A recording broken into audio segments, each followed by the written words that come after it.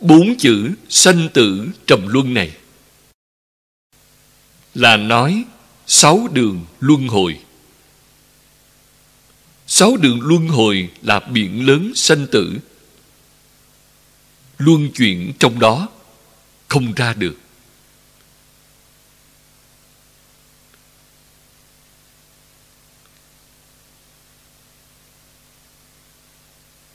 Trong kinh giáo phật nói với chúng ta.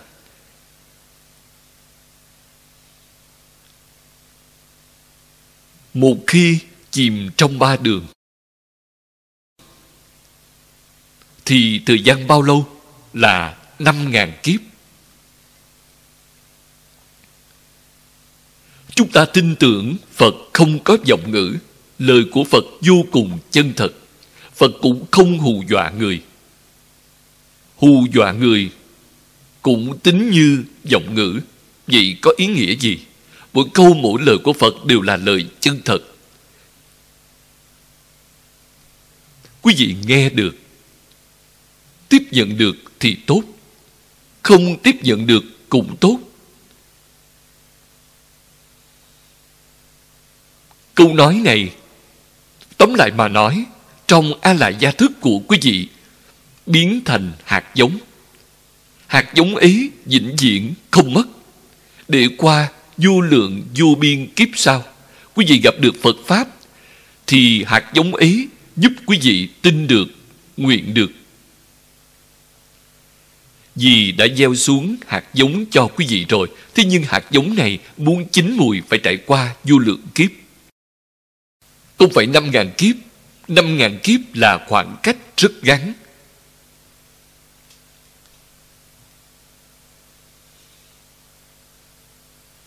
Thật vậy, dần dần có một chút khái niệm thì quý vị sẽ biết.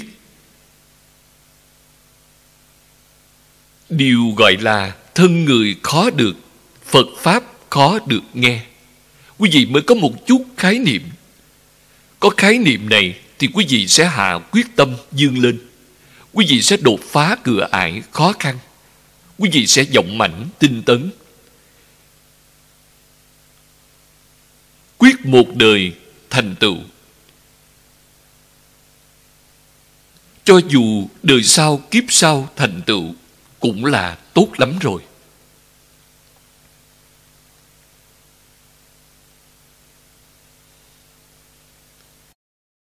Đem tất cả công đức hồi hướng bồ đề thì đều đạt được phật quả chẳng bị diệt mất. Đây gọi là một khi nghe qua tai, vĩnh viễn là hạt giống đạo. Trong A Lại Gia Thức, kết thành hạt giống Phật Pháp. Sau nhiều đời nhiều kiếp, cũng sẽ khởi tác dụng. Đoạn tiếp sau đây là cư sĩ Hoàng Niệm Tổ giải thích cho chúng ta. Ở đây tạm giải thích như sau. Trước hết, dẫn đại kinh để làm rõ công dụng của bồ đề tâm. Đại kinh chính là kinh vô lượng thọ. Các vị tình ảnh, đạo xứ, thiền đạo gọi kinh vô lượng thọ là đại kinh. Còn ngài thiên thai gọi là đại bản. Đại bản, đại kinh đều là chỉ cho kinh vô lượng thọ. Bồ đề tâm ấy chính là nguồn, là cội gốc của giảng sanh tịnh độ. Chính là nguồn, là gốc rễ.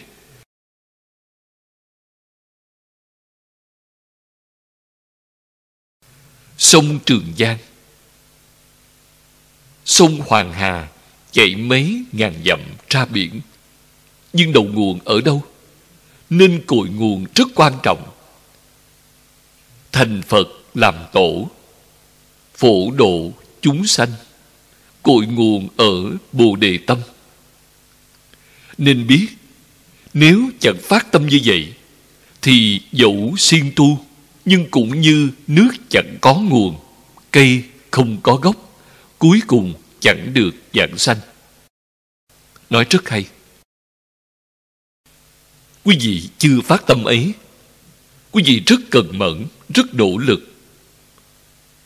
Tu hành mấy mươi năm, như thế nào? Như nước không có đầu nguồn. Tóm lại là, dòng nước nhỏ, suối nhỏ, không thể thành sông lớn, đại hà được. Tại sao vậy? Vì không có nguồn. Cây không có gốc gốc là rễ. Cây không có rễ thì không lớn được. Cây đó sao mà sống lớn lên được chứ? Bởi không có gốc. Dùng điều này để ẩn dụ cho chúng ta dễ hiểu. Cho nên, không có bồ đề tâm, thì có niệm phật được rất tốt cũng không giảng sanh được. Người niệm phật nhiều, nhưng người giảng sanh ít. Từ chỗ này thì chúng ta hoàn toàn hiểu rõ tại sao rồi.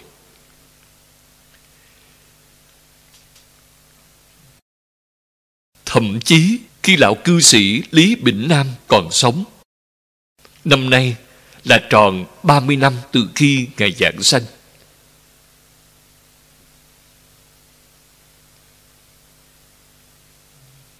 Những học sinh chúng tôi làm lễ kỷ niệm Ngài.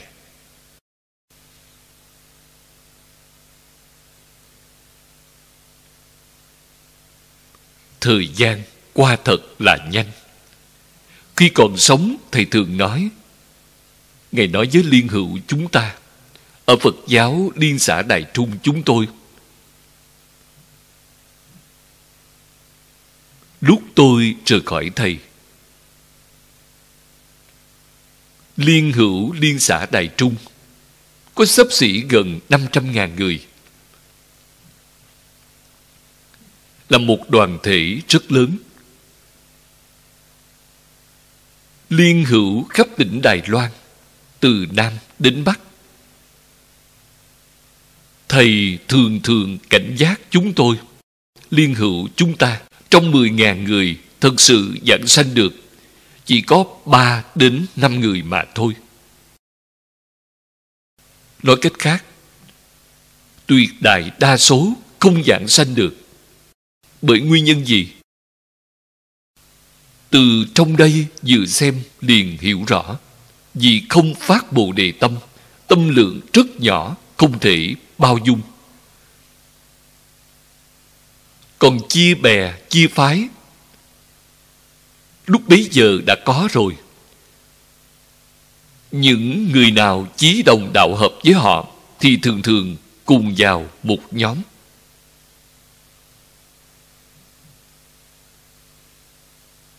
Đó đều là không có bồ đề tâm. Đó đều là tu phước, cầu phước báo nhân thiên thôi.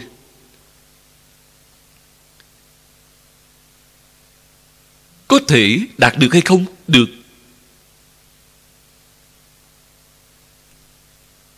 Nhưng không ra khỏi luân hồi. Vì không ra khỏi luân hồi nên chúng ta vẫn tạo nghiệp. Thì nghĩ đến chắc chắn là ác nghiệp nhiều thiện nghiệp ít. Ác nghiệp nặng thiện nghiệp mỏng. Hay nói cách khác, con đường tương lai của chúng ta là thời gian trong ba đường ác dài. Thời gian ba đường thiện ngắn.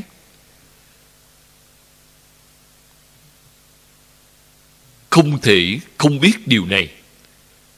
Không biết thì uổng công học rồi.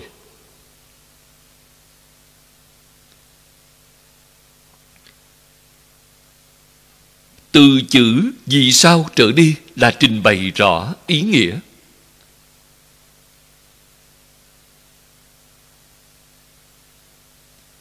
Bồ đề nghĩa là giác. Vô thượng giác chính là phật.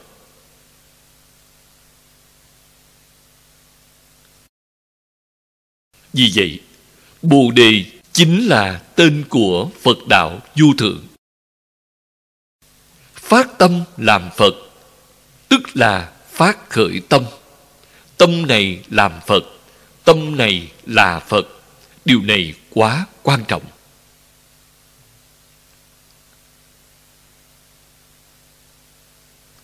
Hai câu này Tâm này làm Phật, tâm này là Phật là kinh văn của kinh quán vô lượng thọ. Đó là lý luận y cứ của tịnh độ tông. Tại sao niệm phật có thể thành phật? Do phật nói. Phật nói chúng ta vốn là phật, nhưng hiện đang mê thôi. Chỉ cần quay đầu. Mê với bồ đề là tương phản với nhau bồ đề là giác. Giác mà không mê là phật. Mê mà không giác là phàm phu. Rất không may chúng ta đọa lạc làm phàm phu.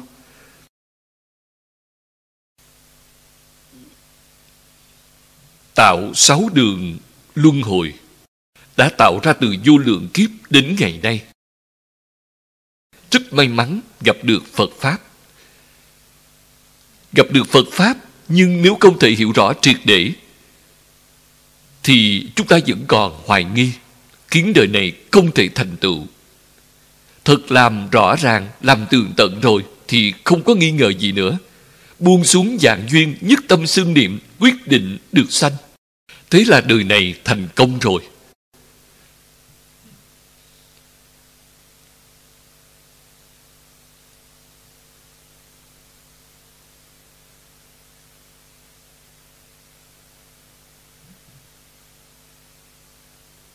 Duyên khó được.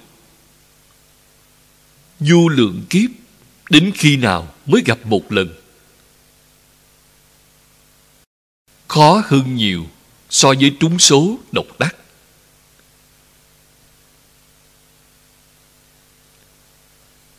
Chúng ta nên biết vậy.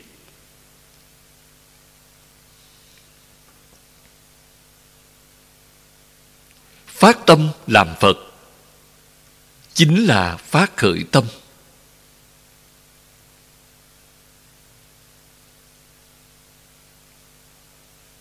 Tâm này làm phật, tâm này là phật. Tâm như vậy, tâm làm như tâm ấy.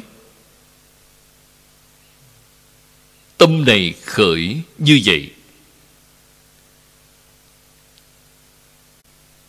Những điều này đồng học học phật chúng ta đặc biệt là học đại thừa. Phải làm cho rõ ràng, phải làm sáng tỏ. Sau đó, hồi quan phản chiếu, thì tìm thấy vấn đề của chính mình rồi. Sau khi tìm thấy, thì sửa lỗi lầm, đó gọi là tu hành. Hành là hành vi, tu là sửa chữa, sửa đổi sửa đổi hành vi sai lầm của chúng ta. Quay về vô thượng bồ đề. Quay về tự tánh.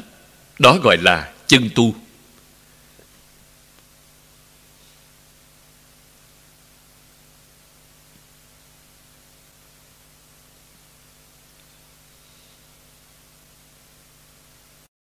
Trong sách an lạc tập nói, thứ nhất là nêu lên công dụng của bồ đề tâm.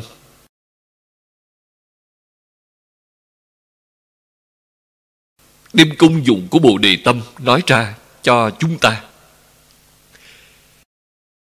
Đại kinh nói, không có nói là bộ đại kinh nào. Thế thì hãy nói đại kinh, đều là chỉ cho kinh vô lượng thọ, là tịnh độ đại kinh phàm muốn dạng sanh tịnh độ thì phải lấy bồ đề tâm làm nguồn. Nguồn là nguồn gốc. Nếu quý vị không phát bồ đề tâm, thì không thể giảng sanh. Bồ đề tâm quan trọng. Tại sao vậy? Bồ đề chính là tên gọi của phật đạo vô thượng nếu muốn phát tâm làm phật, thì tâm ấy rộng lớn trùng khắp pháp giới. Tâm ấy rốt ráo, ngang giới hư không. Tâm ấy lâu xa Đến cùng tận đời vị lai. Tâm ấy trọn khắp, Lìa nhị thừa chướng. Mấy câu nói này Đã nói ra tác dụng của Bồ Đề Tâm.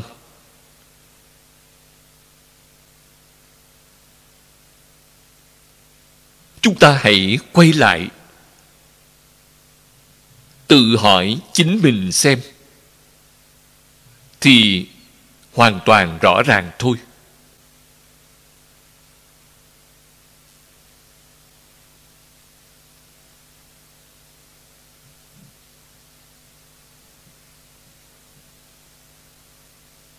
Điều thứ nhất, chúng ta xác xác thật thật là chưa có phát tâm làm phật.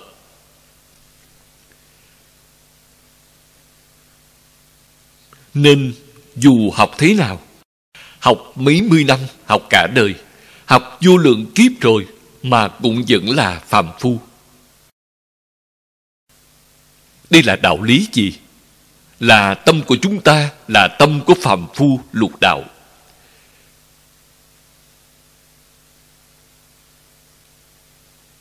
Đó là mê hoặc điên đảo. Mê hoặc điên đảo nghiêm trọng. Còn tự cho mình là đúng. Khởi tâm động niệm, ngôn ngữ việc làm không có gì mà không phải là nghiệp, là tạo nghiệp. Nghiệp gì? Nghiệp luân hồi. Quý vị tạo nghiệp thiện thì sanh ba đường thiện quý vị tạo nghiệp ác thì sanh ba đường ác.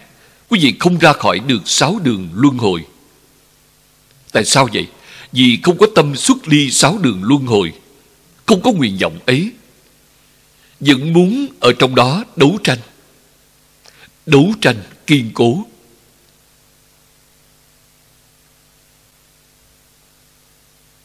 Có phải là như vậy hay không?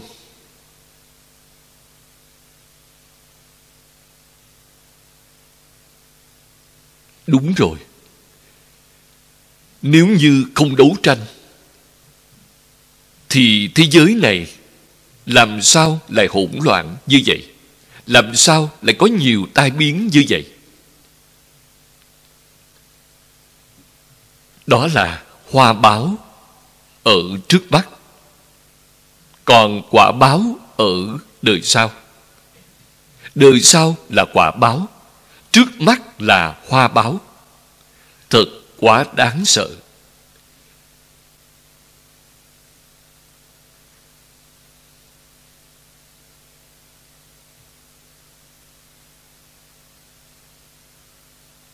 Việc này chưa có kết thúc đâu. Vì đời đời kiếp kiếp, càng mê càng nghiêm trọng.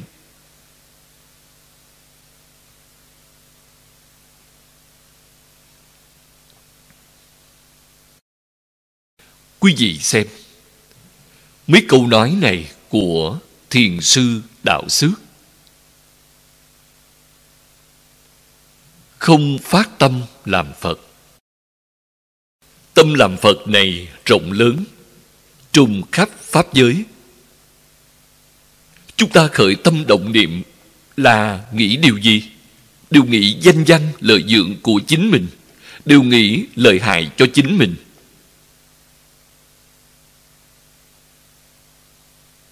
Không buông xuống được. Có mấy người nghĩ đến trùng khắp pháp giới? Ai nghĩ đến?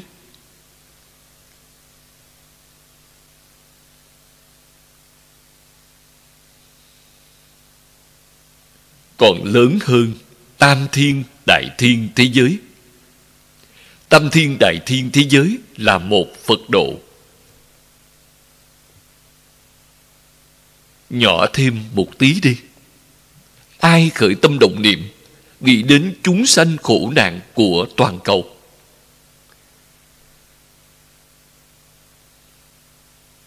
Không ai nghĩ đến. Ai nghĩ đến đất nước của mình, nghĩ đến khu vực này? Cũng không ai nghĩ đến. Khởi tâm động niệm đều là nghĩ chính mình. Nhiều lắm là nghĩ đến người sống chung nhà với quý vị. Quý vị chỉ nghĩ tới bao nhiêu đó. Phạm vi này nhỏ biết bao, thật là tiểu dân không có tâm lượng lớn. Còn chân tâm là trùng khắp pháp giới. Chân tâm là tâm đại bồ đề, là tâm làm phật. Trên kinh hoa nghiêm nói với chúng ta, chân tâm của chúng ta bao lớn, tâm bao thái hư, lượng chu sa giới. Lượng là có thể bao dung bao dung khắp pháp giới hư không giới.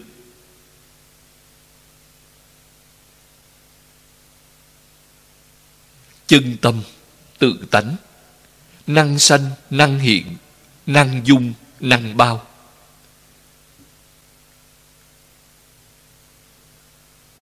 Thời cổ trung hoa xưng người đó là đại nhân.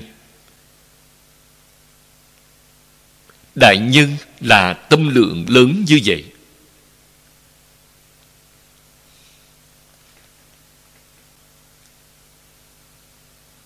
Câu tiếp theo, tâm ấy cứu cánh ngàn giới hư không, vậy thì còn gì bằng?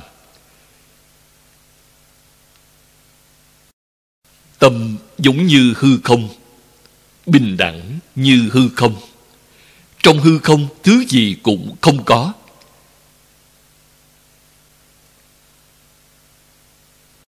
Đại sư huệ năng nói rất hay, xưa nay không một vật.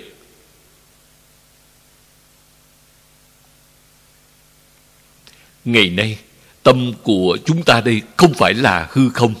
Trong tâm chứa quá nhiều thứ, dường như sắp đầy rồi.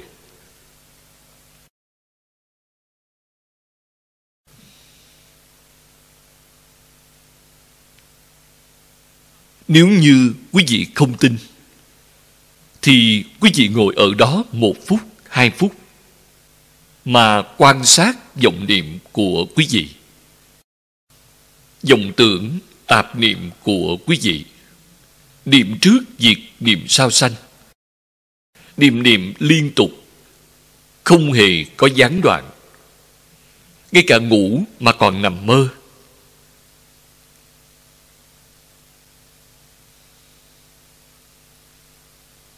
Đó là trong tâm vọng tưởng, Tạp niệm quá nhiều Quá nhiều rồi. Chân tâm thì sao? Chân tâm giống như hư không vậy, Một ý niệm cũng không có. Nói với quý vị, Ý niệm về Phật cũng không có. Ngày nay, chúng ta niệm Phật, Chúng ta niệm Phật cầu sanh tịnh độ. Bởi vì sao? Vì nơi chúng ta đây. Nếu muốn được tâm thanh tịnh Là khó. Không đạt được. Không dễ dàng khôi phục được chân tâm. Nên chúng ta chỉ đặt vào A-di-đà Phật, Chính là chúng ta chỉ nghĩ đến thế giới cực lạc. Nói với quý vị, Nếu quý vị đặt hai thứ vào thì đi không được. Vậy xong quý vị rồi. Quý vị nói, Tôi vừa muốn đến thế giới cực lạc, Tôi lại muốn học Địa Tạng Vương Bồ Tát. Vậy được hay không? Nói với quý vị, được, Là gạt quý vị thôi, Là không chịu trách nhiệm đâu. Nói lời thật với quý vị là không được. Quý vị muốn tu Địa Tạng Bồ Tát, Địa Tạng Bồ Tát là bổn tôn của quý vị, Thì quý vị đừng có niệm Phật. Mà chuyên niệm Địa Tạng Bồ Tát Thì quý vị mới thành công được. Cho dù quý vị không thể thoát ly lục đạo luân hồi nhưng quý vị sẽ không đọa ba đường ác, Vì Địa Tạng Bồ Tát sẽ gia trì cho quý vị. Nếu như quý vị dùng công phu, đắc lực, thực sự đi con đường giới định huệ, thì quý vị sẽ đắc tam muội, quý vị sẽ khai ngộ, quý vị có thể chứng quả. Chứng đắc sơ quả tu đà hoàng tiểu thừa. Tới lui bảy lần cõi trời cõi người thì chứng a la hán siêu dược lục đạo luân hồi. Con đường quý vị đi là như vậy. Nếu hợp hai con đường lại để đi một lượt thì đi không thông.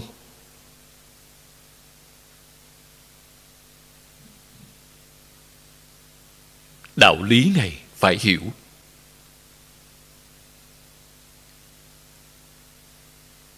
Một câu a di đà phật. Xác thực là bao gồm vô lượng pháp môn, rốt ráo viên mãn của chư phật bồ tát. Niệm phật có thể được vậy. Tại sao? Quý vị không cần đi niệm quý ngài, vì quý ngài ở trong phật hiệu. Quý ngài không ở ngoài phật hiệu. Phật hiệu bao gồm quý ngài rồi.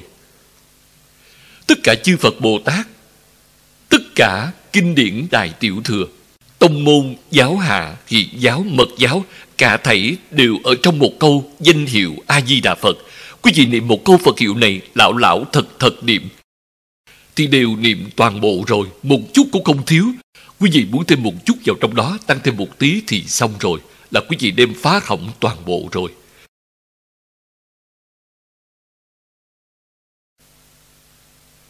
Tôi nói lời chân thật với mọi người là không thể được.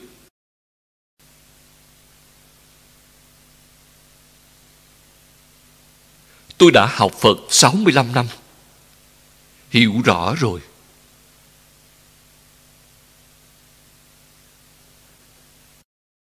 Đặc biệt là dạo gần đây.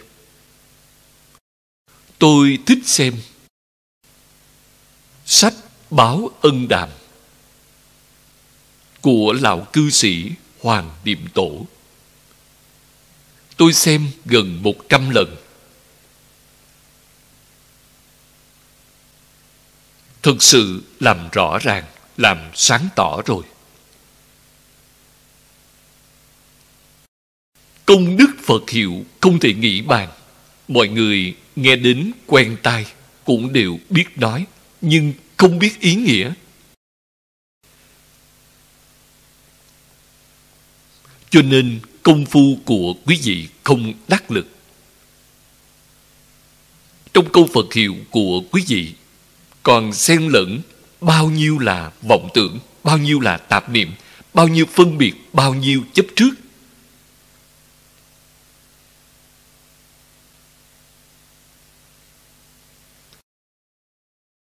Vì vậy, phật hiệu không đắc lực. Lão hòa thượng hải hiền niệm phật là tiếng tiếng đắc lực.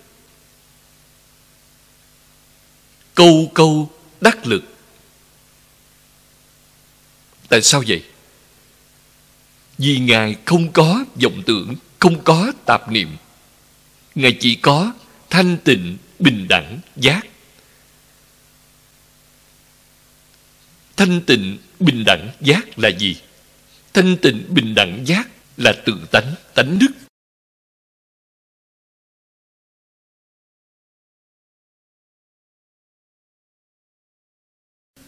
Thanh tịnh tâm hiện duyệt.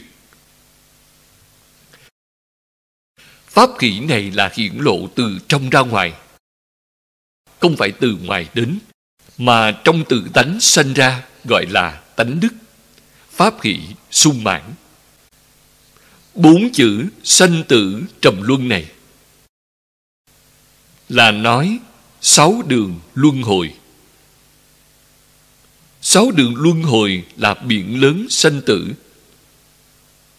Luân chuyển trong đó không ra được.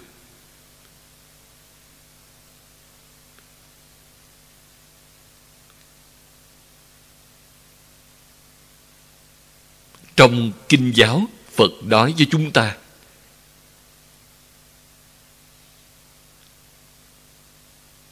Một khi chìm trong ba đường thì thời gian bao lâu là năm ngàn kiếp.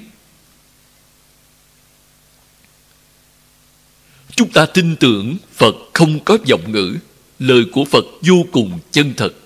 Phật cũng không hù dọa người. Hù dọa người cũng tính như giọng ngữ.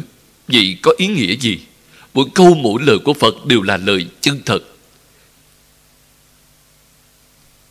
Quý vị nghe được tiếp nhận được thì tốt, không tiếp nhận được cũng tốt.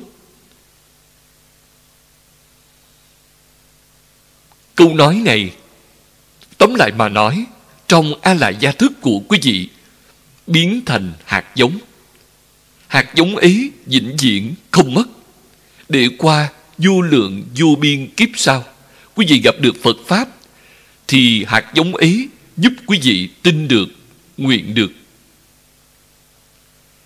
vì đã gieo xuống hạt giống cho quý vị rồi, thế nhưng hạt giống này muốn chín mùi phải trải qua vô lượng kiếp. Không phải năm ngàn kiếp, năm ngàn kiếp là khoảng cách rất ngắn.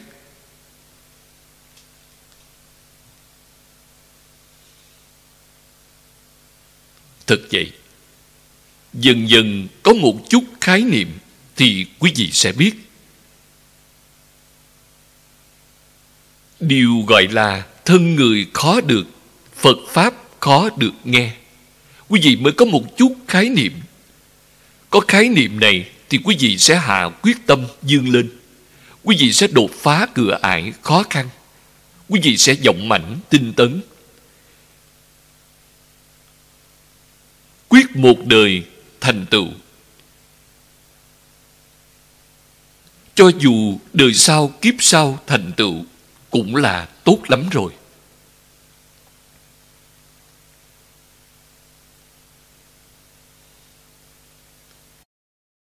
Đem tất cả công đức, hồi hướng, bồ đề.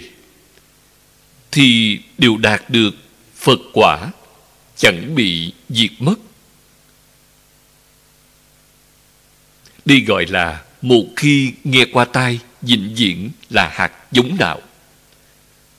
Trong a lại gia thức, kết thành hạt giống phật pháp. Sau nhiều đời nhiều kiếp cũng sẽ khởi tác dụng. Đoạn tiếp sau đây là cư sĩ hoàng niệm tổ giải thích cho chúng ta. Ở đây tạm giải thích như sau. Trước hết, dẫn đại kinh để làm rõ công dụng của bồ đề tâm. Đại kinh chính là kinh vô lượng thọ. Các vị tình ảnh đạo xước thiền đạo gọi kinh vô lượng thọ là đại kinh. Còn ngài thiên thai gọi là đại bản. Đại bản, đại kinh đều là chỉ cho kinh vô lượng thọ. Bồ đề tâm ấy chính là nguồn, là cội gốc của giảng sanh tịnh độ. Chính là nguồn, là gốc rễ.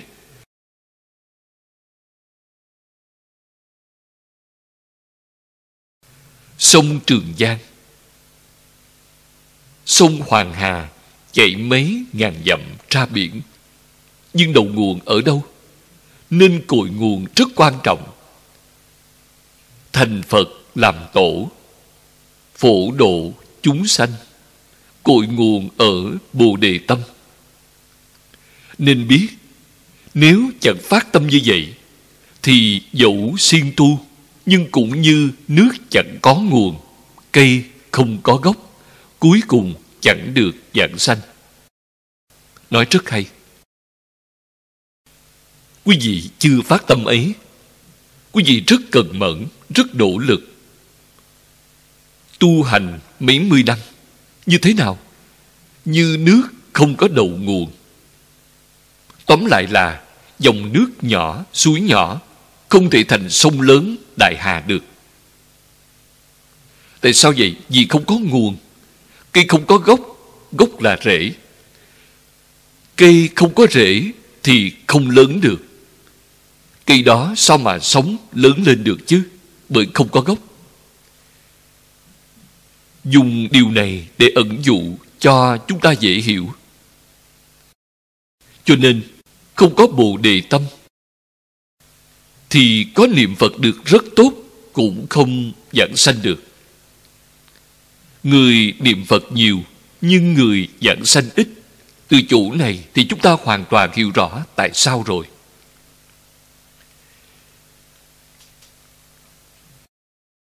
Thậm chí khi lão cư sĩ Lý Bỉnh Nam còn sống. Năm nay là tròn 30 năm từ khi Ngài giảng sanh.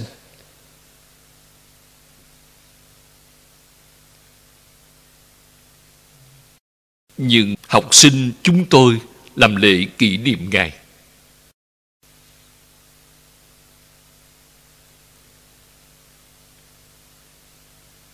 Thời gian qua thật là nhanh. Khi còn sống, Thầy thường nói, Ngài nói với liên hữu chúng ta, ở Phật giáo Liên xã Đại Trung chúng tôi, lúc tôi rời khỏi Thầy, Liên hữu Liên xã Đại Trung có sấp xỉ gần 500.000 người. Là một đoàn thể rất lớn. Liên hữu khắp tỉnh Đài Loan, từ Nam đến Bắc. Thầy thường thường cảnh giác chúng tôi, liên hữu chúng ta, trong 10.000 người thật sự giảng sanh được chỉ có 3 đến 5 người mà thôi. Nói cách khác, tuyệt đại đa số không dạng sanh được. Bởi nguyên nhân gì?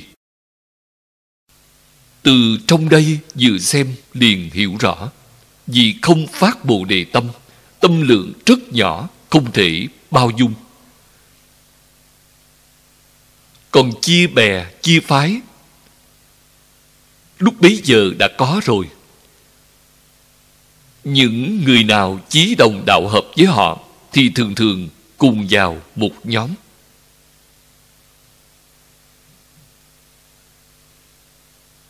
Đó đều là không có bộ đề tâm. Đó đều là tu phước, cầu phước báo nhân thiên thôi.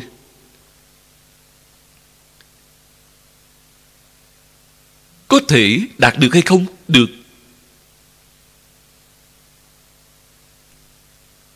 Nhưng không ra khỏi luân hồi.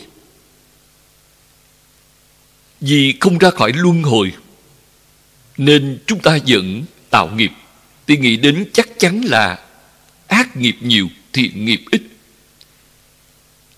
Ác nghiệp nặng Thiện nghiệp mỏng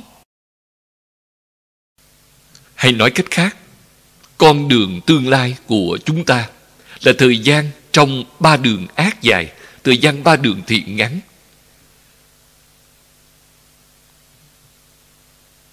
Không thể không biết điều này.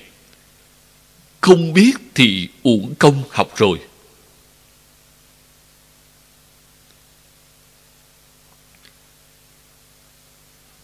Từ chữ vì sao trở đi là trình bày rõ ý nghĩa.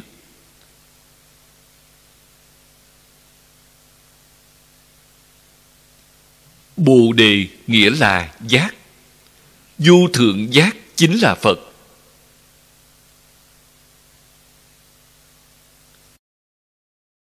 Vì vậy, bồ đề chính là tên của phật đạo vô thượng phát tâm làm phật, tức là phát khởi tâm. Tâm này làm phật, tâm này là phật. Điều này quá quan trọng.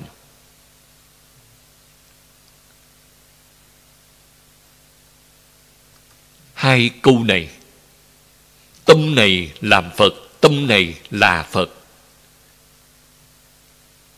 là kinh văn của kinh quán vô lượng thọ.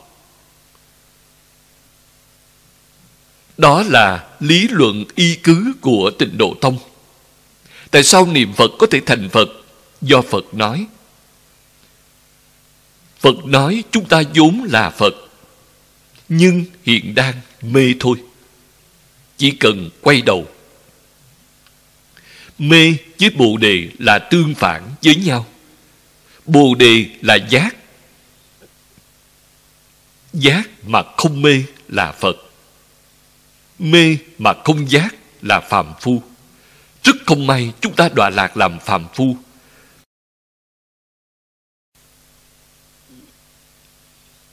Tạo sáu đường luân hồi đã tạo ra từ vô lượng kiếp đến ngày nay.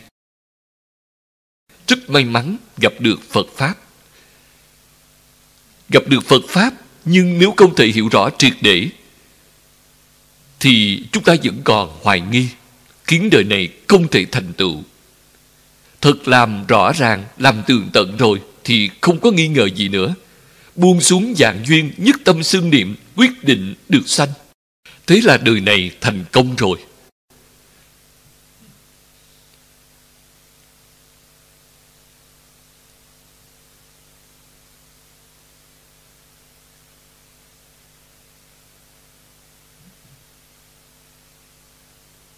Duyên khó được. Du lượng kiếp, đến khi nào mới gặp một lần? Khó hơn nhiều so với trúng số độc đắc.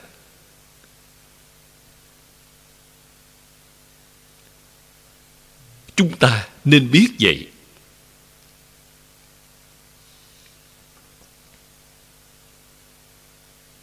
Phát tâm làm phật chính là phát khởi tâm.